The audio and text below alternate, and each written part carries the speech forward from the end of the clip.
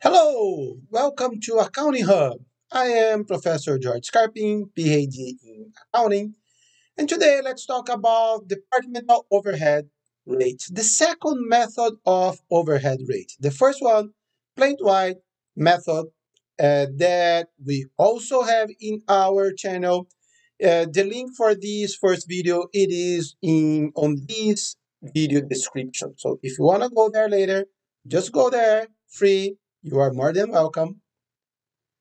So, what is the greatest difference between departmental and plant-wide? Plant-wide, we have only one allocation. Departmental, we establish separate manufacturing overhead rate for each department. So instead of only one per company, we have one per department. If a company has 10, 10 departments, we will have 10 different allocations. And we have the same four steps, but a little bit different. Step one and two, exactly the same. Step one, total manufacturing overhead costing period in each department instead of the whole company. Step number two, allocation base for each department. We can use the same, for instance, the most used one, direct labor hours, or we can work with different ones. For instance, direct labor for department number one, direct machine hours for department number two, for instance. Not common, but we can do that.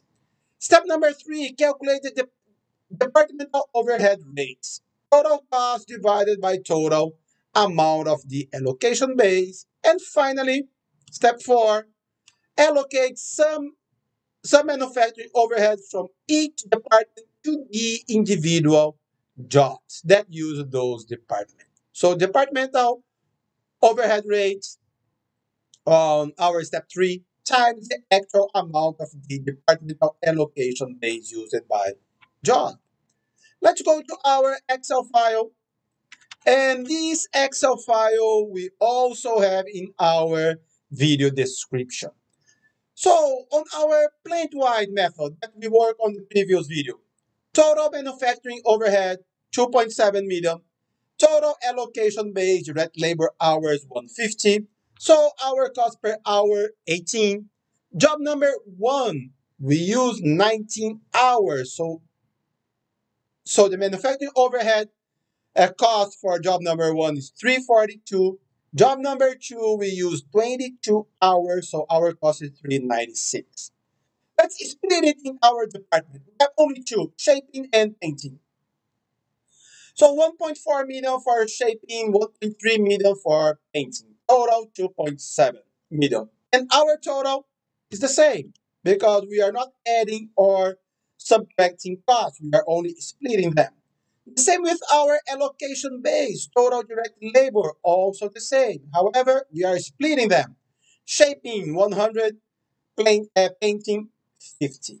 So let's check our cost per hour.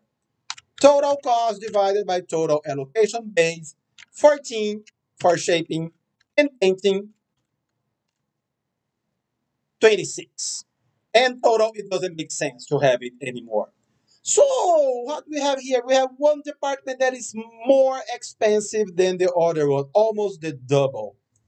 And our direct labor hours, remember, job one, 19 hours, job two, 22. We also split them. Job one, uh, almost 50-50, 10 hours shaping, 9 hours painting. However, job number two, 8 hours shaping, 14 hours painting use much more the most expensive department. And step number four, manufacturing overhead cost per job. Manufacturing overhead cost per hour times number of hours. So job one for shaping 140, job two for shaping 14 times 8, 112. Job number one for painting 26 times 9, 234. Job number two, 26 times 14, 364. And the total, now we combine them. So sum to here, 374 for job number one. Wow, it's more expensive than on the plant-wide method. Job number two, 476. Also more expensive here. So both are more expensive now. Only because we are splitting our uh, our costs and and so on. Okay? So this is our departmental method. So both are under were under costed. Here we have a more expensive product based on our splitting of our costs. Okay, guys, so this method is more accurate than the plant-wide method because we split it in more departments. So the more we split them, the more accurate we have our our system. Okay, guys.